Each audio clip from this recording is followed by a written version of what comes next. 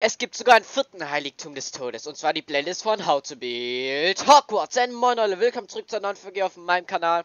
Und heute machen wir den Training Grounds Tower. Und da muss ich zuerst was sagen. Und zwar, man äh, sieht diesen Tower nie.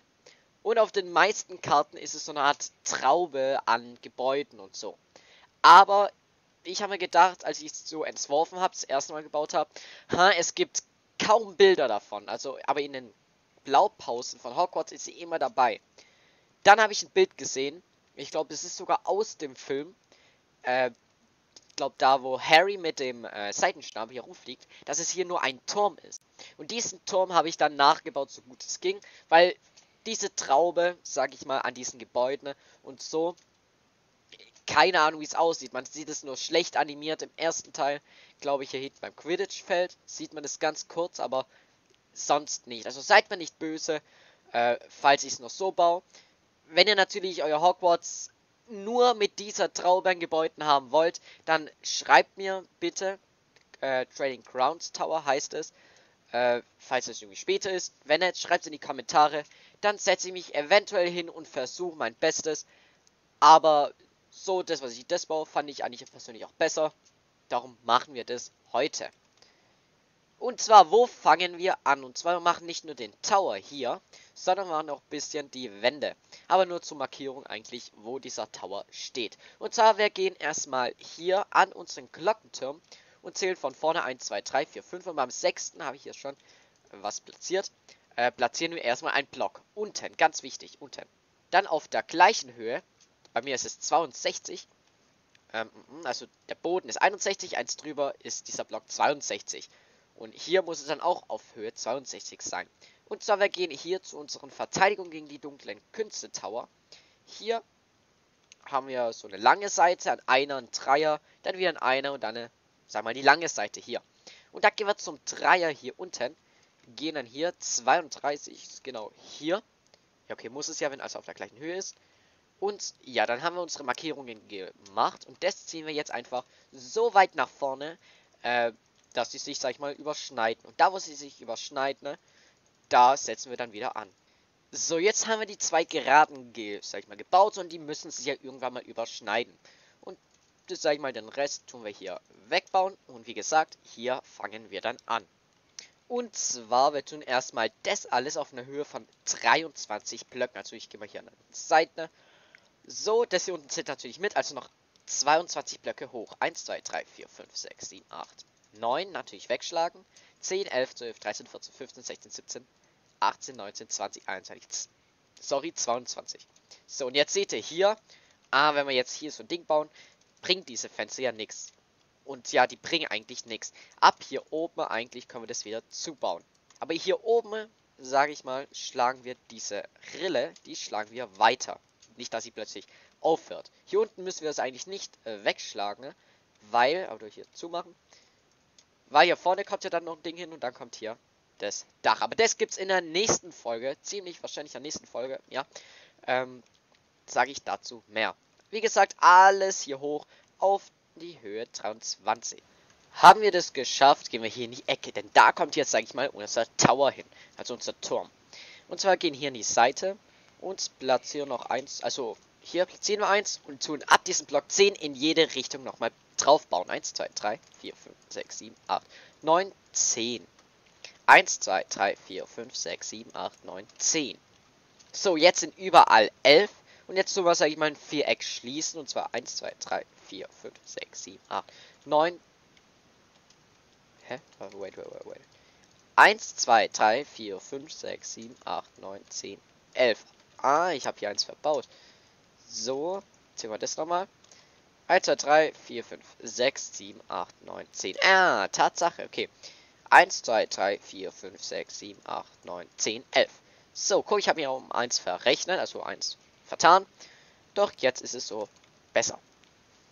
Damit wir jetzt nicht, sage ich mal, äh, verwir in Verwirrung kommen, tun wir die hier auch runterziehen. Also diesen, was wir gerade gebaut haben. So, auch das geschafft, tun wir da drauf noch 18 weitere Blöcke. 1, 2, 3, 4, 5, 6, 7, 8, 9, 10, 11, 12, 13, 14, 15, 16, 17, 18. Und das füllen wir überall wieder nach oben. Dann sieht es alles so aus. Und jetzt, sage ich mal, ist es ein bisschen glatt. Jetzt machen wir da ein bisschen 3D rein. Und zwar hier gehen wir an unsere Wand. Und beim 23. gehen wir hier genau da, wo unser Turm anfängt. Und ziehen da um eine umgekehrte Treppe hier rüber. An den Ecken nichts machen. Und das dann auch wieder hier rüber. So. Wenn wir schon dabei sind, tun wir hier mal unsere Schwarzeichen-Stufe und Schwarzeichen-Treppe nebeneinander liegen. Denn wir tun jetzt, sag ich mal, so abwechselnd bis nach äh, vorne, sage ich mal, unsere Treppen platzieren. So, haben wir das geschafft, ist es gut. Und der Elias in der Zukunft wird sich auch mega darüber freuen, dass wir das schon gemacht haben. Er spart sich auf jeden Fall sehr viel Zeit. Und jetzt aber noch nicht genug, denn wir zählen ab unseren Treppen 1, 2, 3, 4, 5, 6 Blöcke ab und platzieren drüben 7. Einmal rundrum diesmal. So und in den Ecken auch. So eine richtige Treppe. So, und jetzt können wir noch ein paar Fenster reinmachen. Und zwar zwischen den zwei Treppen. Oben tun wir zwei freilassen und machen jetzt immer nur so eine Treppen. An den Seiten lassen wir zwei frei. Das auf äh, beiden Seiten. Und in der Mitte einfach zwei freilassen und haben wir das. Und das machen wir auf jeder Seite. Das sind so Gucklöcher. Das tun wir dann einfach ganz normal mit Kohle ersetzen. So, das geschafft, haben wir wieder unsere steizige Treppe und zählen über unseren, sage ich mal, normalen Treppen acht Blöcke ab. Und beim neunten tun wir wieder nochmal parallel wie unten auch in den Ecken eine ganz normale Treppe herum rundziehen. Und jetzt kommen hier ein bisschen größere Fenster rein. Und zwar wir zählen von unten zwei Blöcke lassen wir frei und in den Seiten eins und schlagen erstmal, sag ich mal, so ein Zweier rein. Dann lassen wir eins frei und schlagen ein Dreier, eins frei und ein Zweier. Das machen wir jetzt erstmal überall.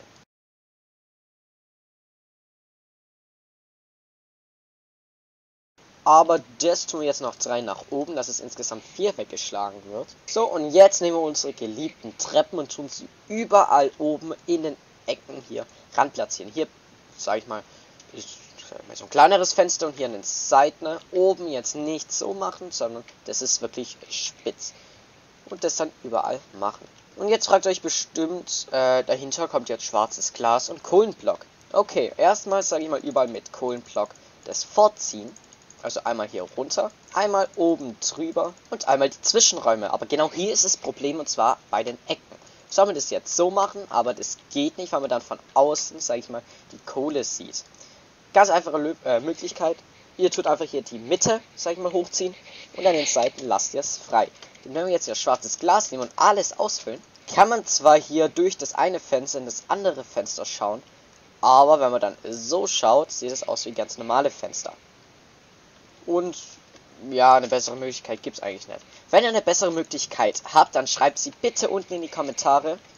Dann können wir wirklich alle Freunde sein und dann ist vielleicht eure Idee hier ja, vertreten. Oder ihr kommt sogar in, äh, vorne an die große Halle als Ritter, als Verewigung. So, jetzt habe ich das Ganze aus dem Fett gemacht. Natürlich hinten auch. Ja, mit Kohle. Ja, verzieren, genau. jetzt hier oben haben wir dann noch drei Blöcke frei. Und am obersten Block tun wir einmal umgedreht die Treppen, aber diesmal auch an den Seiten mit. Einmal so lang ziehen. Und jetzt sage ich mal die Mitte auswählen. So, die Fenster unten machen wir in einer späteren Folge, weil da ist es ein bisschen kompliziert und es eigentlich genau die gleichen Fenster wie hier an den Seiten. Also, nächste Folge. Ah, so viele Cliffhanger hier. Aber jetzt gehen wir erstmal an den Seiten. Das hat genauso wie bei den anderen auch so kleine aber ähm, kleine Türmchen hier an den Seiten. Und zwar, wir lassen wieder an den Seiten hier, sorry, die Treppe frei. Und tun hier dann, sag ich mal, ein 2x2er hin. Oder eher gesagt, überall. Diesen 2x2er tun wir noch einmal, also 2x2x2, so ein Würfel. Und tun jetzt hier in die Mitte, sage ich mal, einen Block platzieren. So. So, sorry Leute, es sind doch 3 mal 3 mal 2, also einfach hier auf jeder Seite, sage ich mal, noch ein Dreier hin. So. Denn ich habe ja einen Screenshot gemacht und nicht vorgeschrieben. Manchmal mache ich das so. Und da sieht es aus wie 2 bis ein 3. Ha! Aber jetzt hier, sag ich mal, in der Mitte, jetzt nicht diesmal hinten, sondern einfach nur eins weiter, machen wir noch eine äh, Steinziegelblock. Und dann eins nach hinten tun wir einmal die Erde hin. Die Erde äh, machen wir noch äh, zwei weitere Schichten nach oben. Und ziehen die Steinziegel hier auf die gleiche Höhe wie deren Türmchen. Also eigentlich nur ein Block drauf. Bevor wir jetzt weitermachen, nehmen wir unsere Steinziegelstufe und tun davor einmal vor unseren Single Stands, genau, eine Schicht, sage ich mal, mit Stufen. Ihr könnt sie aber auch anders machen und zwar einfach weglassen, aber dann ist es hier, sage ich mal, ein bisschen flach. Oder ihr macht es zwei nach vorne. Eure Entscheidung, ihr könnt auch in einem Block machen, aber das finde ich dann wirklich ein bisschen zu treppenhaft. Darum mache ich hier mal nur, sage ich mal, die drei hier.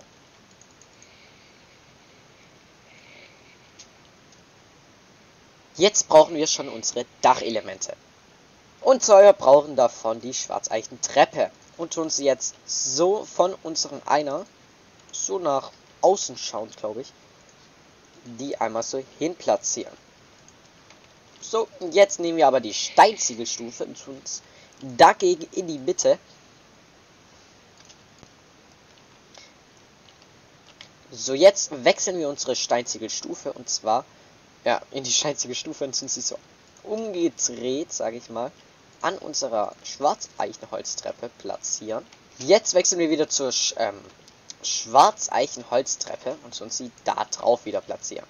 So, jetzt nehmen wir einfach einen ganz normalen Block und sonst sie zwischen unseren Schwarzeichenholztreppen platzieren. Und auf unseren Block äh, wechseln wir wieder zur Schwarzeichenholzstufe und sonst sie dahin platzieren.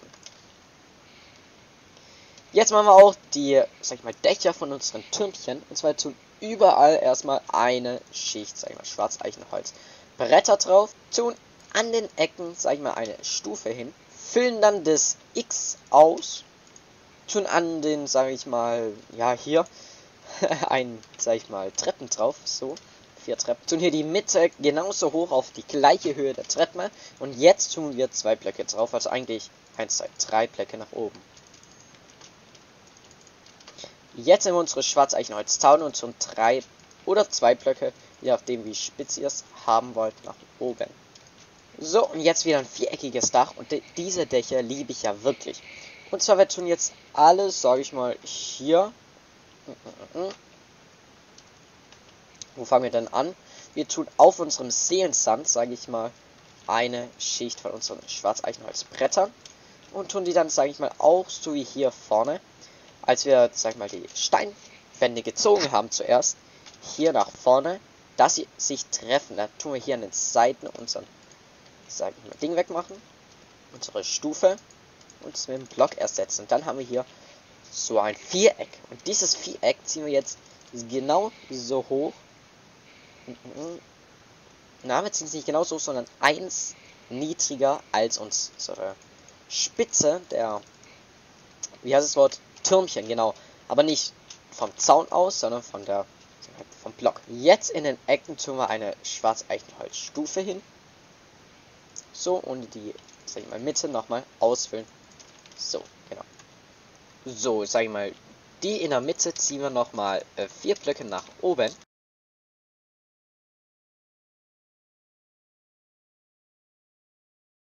So, und jetzt geht es wieder nach oben und zwar, wir tun hier noch ein Zweier drauf und dann noch ein Zweier. Also immer eins weiter nach innen. Dann kommt eine Schicht Zweier und dann, ja, hier aus 3, also 5 werden 3, aus 3 werden dann 1. So. Jetzt sage ich mal, tun wir hier den Rest, sage ich mal, auf die gleiche Höhe wie unsere Spitze. Ne? So. Und tun, wenn es auf die gleiche Höhe ist, wie unsere Spitze, noch zwei Blöcke überall drauf. Das ist dann wieder so ein Viereck. So, haben wir über unserer Spitze nochmal zwei Blöcke hingemacht, wo wir die Ecken wieder wegschlagen. So, nehmen eine Stufe und uns ihn da hier wieder hin platzieren. So, dass nur eineinhalb Blöcke weg ist. Genau. Und, sage ich mal, die tun wir nochmal vier Blöcke nach oben. Oder eher gesagt, macht sie bitte drei Blöcke hoch. So. Und dann in der Mitte tun wir jetzt aber ein Einer machen, aber der kommt drei Blöcke hoch, denn es wird hier immer spitzer nach oben hin. So. Und jetzt sage ich mal die Seiten wieder so nach oben auf die gleiche Höhe wie unsere Spitze. Tun sie es dann, sage ich mal, hier so verbinden. Und die tun wir dann, sage ich mal, jetzt drei Blöcke höher.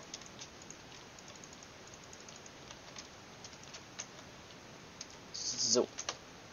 Jetzt tun wir an den Seiten hier die Treppen hin, machen ein X und dieses X äh, machen wir vier Blöcke hoch. Oder ist es, ist es zu hoch? Na, das geht eigentlich. Na, wenn man es drei Blöcke hoch. So, und dann obendrauf die Stufen, genau. Aber hier 1, 2, 3, 4. Vier Blöcke hier so nach oben und 1, 2, 3, 4, 5, 5, 6. So. 6er Spitze. Ah nein, das würde ich 5 machen, weil 6 wirklich ein bisschen zu krass, finde ich. So. Genau, wem das jetzt so gefällt, kann es äh, lassen. Ich mache aber persönlich noch Schwarzeichen Treppe hin. Und diesmal habe ich es nochmal anders gemacht. Denn ich habe jetzt, sage ich mal, nur erklärt mit Blöcken und Stufen. Und jetzt kommen die Treppen und die können wir jetzt, sage ich mal, überall nochmal hinmachen. So, aber diesmal sind es gar nicht, nur die zwei da unten, weil da oben haben wir schon Treppen und so genutzt. Genau. Jetzt kommen aber oben noch irgend so, ja, so ein Ausguck hin und da passt es wirklich gut. Und zwar, wir gehen hier zu unserem Dreier, wo es dann ein Dreier, nein, doch, doch ein Dreier, einer nach oben geht. So, und zwischen, ja, das erste Mal so. Wir zählen ab den Treppen gehen wir eins nach unten, ab den zweiten tun eine umgedrehte Treppe hin. Darunter eine normal, äh, normale Treppe. Und jetzt können wir da oben jetzt wieder eine Stufe machen. Oder wir machen ein ganz normal, ähm, Treppe oder eine Stufe. Aber ich würde die Treppe machen, ist ja Dach. So, und das machen wir überall auf jeder Seite. So, wer jetzt noch will, kann Schilder nehmen. So, was, ah, natürlich Schwarzeichholz. So, und das dann so eine Art Befestigung dran machen, hier unten. Also, wie sieht es aus? So. Ist eigentlich nicht so schlecht aus, wenn wir es nach oben reinmachen. So, na, das probiere ich hier gerade so Freestyle aus. Ich glaube, wenn wir es unten machen, ist es gut, aber wenn wir es oben machen, ist dann too much. Also, ich mache das mal so, weil Kono hat irgendwas, irgendetwas an sich. So hat Halter Row. Kannst du natürlich auch hier oben machen, aber dann an Treppen sieht es ein bisschen aus wie so ein Sessel. Der gleichen Farbe, als wenn wir es so, so dran machen. Sieht aus wie so ein Sessel mit. Ja. Genau. Dann würde ich sagen, wir haben einen Turm. Nächste Folge kommt, sage ich mal, die ja, Mauern dran. Und dann kommt hier, sage ich mal, noch so eine Ausweichung da vorne, wo dann wir diesen Schnitt gemacht haben bei unseren Gewächshäusern und dann sind wir eigentlich mit Hogwarts auch schon fertig. Ah, danach natürlich noch die Berge machen, ne? da so einmal rundherum ziehen, da werden es bestimmt ein paar Bergteile. Dann kommt Hagrids Hütte und die peitschende Weide. Und dann können wir schon mit dem Quidditch-Feld anfangen. Und wenn wir das Quidditch-Feld haben, ich weiß noch nicht, ob ich Quidditch-Feld oder Hawksmeade zuerst mache, aber Hawksmeade, wie gesagt, habe ich angefangen. Es gibt insgesamt, lass mich mal kurz nachschauen, weil ich habe mir so einen Plan gemacht, wo alles stehen wird. Denn es gibt bis zu 40 bis 60 Häuser in Hawksmeade. Aber ich habe mir, glaube ich, die äh, wichtigste, warte, wie viel sind das insgesamt? 16. 16 sind es insgesamt bei mir. Habe ich mir insgesamt 16 rausgesucht. Und die bauen wir dann, weil 40, erstens kann ich nicht bauen, zweitens, es sind sogar bei den 16 sehr, sehr wenig Bilder. Und ich muss mal die Hälfte auch zusammenreimen, weil, ja, es gibt so eine Hogwarts-Tour, aber ich weiß leider nicht, äh, wo. Ich glaube, irgendwie London oder so. Auf jeden Fall, die haben da fast ganz Hogwarts nachgebaut. Äh, hier die ersten Teile. Äh, mit Astronomieturm. Da hinten ist auch wirklich cool. Ich war da leider noch nie, da weiß ich auch nicht, wo das ist. Aber da haben sie auch Teile von Hawksmeade gemacht und darauf äh, stütze ich mich dann auch. Und ja, es wird ein bisschen ähnlich sehen. Es wird auch, aber die Verteilung von Hawksmeade äh, wird dann ja, was soll ich sagen, habe ich so hingemacht, dass vielleicht grob da steht, auch im Film, dass es auch im Film logik, logisch ist. Weil dann habe ich mir auch noch gedacht, hm, wenn ich alles gebaut habe in zwei, drei Jahren und es euch erklärt habe, dann mache ich ein paar Filmprojekte, zum Beispiel 1 zu 1 die Harry Potter Filme in Minecraft nachmachen. Was haltet ihr davon? So. Was haltet ihr davon? Schreibt es in die Kommentare. Dann lasst auch ein Like und ein Abo da, um in Zukunft keine weiteren Videos mehr zu verpassen. Und natürlich aktiviert die Glocke und schreibt einen netten Kommentar. Oder einen schlechten, falls ich schlechter Klapp habe. Dann natürlich will ich etwas ändern, aber ist bisher noch nicht vorgekommen. Und danke für eure Liebe an den Videos. Pusht mich richtig total. Und ja, dann würde ich mal sagen, bis morgen bei der neuen Folge von How to Build Hogwarts.